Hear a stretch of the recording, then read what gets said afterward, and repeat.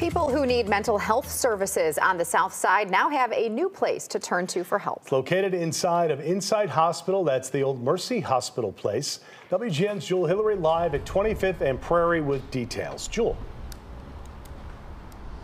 Hi, Pat and Dana. Ada S. McKinley Services has teamed up with Insight Hospital and other partners hoping to restore much needed mental health care that's been lost over the years.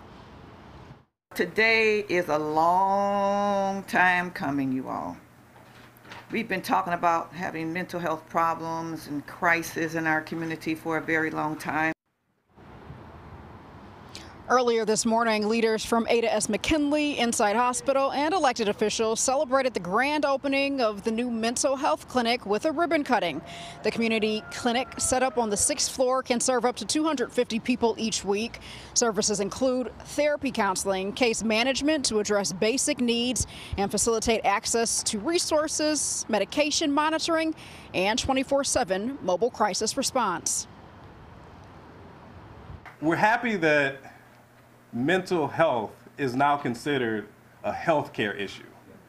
We've been doing it for 100 years, but to be inside of a hospital and partnering, bringing our community resources and the add back access to the community that we serve has been critical in our decision.